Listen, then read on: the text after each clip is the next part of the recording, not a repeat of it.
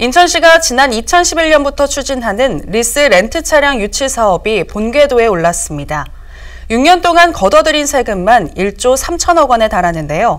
시 재정의 효자 노릇을 톡톡히 하는 이 사업은 시민 제안에서 시작됐다고 합니다. 이형구 기자입니다. 한 렌트 차량의 자동차 등록증입니다. 소유자 주소는 서울이지만 사용 본거지를 인천에 두고 자동차 등록도 인천에서 했습니다. 이렇게 되면 통상 서울시로 들어갈 등취득세가 인천시로 들어옵니다. 인천시가 세수 확보를 위해 시작한 리스 렌트 차량 유치는 급성장하고 있습니다. 2011년에 305억 원 유치를 시작으로 2014년엔 2천억 원대를 돌파했습니다. 6년 동안 걷어들인 세수는 1조 3천억 원이 넘습니다. 특히 민선 6기에만 9,100억 원의 세수를 올려 재정 정상화에 기여했습니다. 인천시 세수 중 리스 렌트가 차지하는 비중은 8.7%에 달합니다. 지난 4년간 21조 원에 가까운 전국의 자동차 렌트차 리스 차량을 인천에 등록시키고 그 엄청난 재원을 마련했습니다.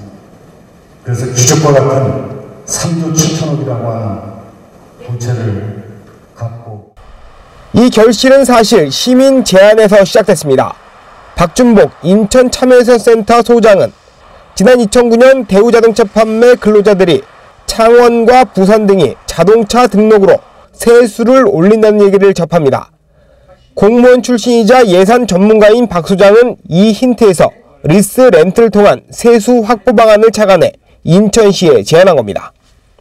이거 인천에 맞는 제도로 어, 만들어내면 세수에 큰 효과가 있겠다 싶어서 논의했고 2010년도 지방선거가 끝나면서 시민 제안으로 해서 대상을 받은 거죠. 17년만 해더라도 3천억 이상을 징수했다 그러니까 시 재정에는 톡톡한 효자 노릇을 했다. 인천시는 리스 렌트 차량 유치 사업의 공로를 인정해 박 소장에게 인천시장 표창을 수여했습니다. 박 소장은 재정 극복에 도움이 됐다니 보람을 느낀다면서도 유정복 시장이 시민사회의 공을 시가 자체적으로 시행한 것처럼 호도하는 것은 아쉽다고 밝혔습니다. 티브로드 뉴스 이영구입니다.